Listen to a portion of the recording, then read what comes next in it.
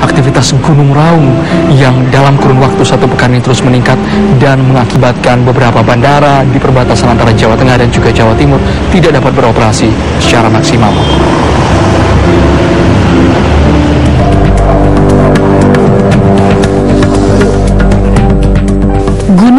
Di Bondowoso, Jawa Timur hingga saat ini masih menyemburkan material vulkanis tebal.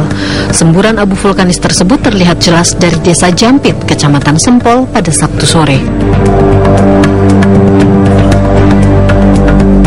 Asap kelabu pekat tersembur hingga ketinggian sekitar 700 meter ke arah timur dan tenggara atau ke arah Pulau Bali.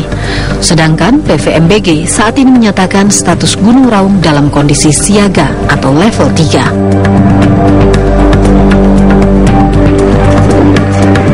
Akibat aktivitas vulkanis Gunung Raung yang masih membahayakan penerbangan, Bandara Belimbing Sari Banyuwangi, Jawa Timur masih ditutup. Penutupan telah dilakukan sejak Selasa hingga Sabtu ini.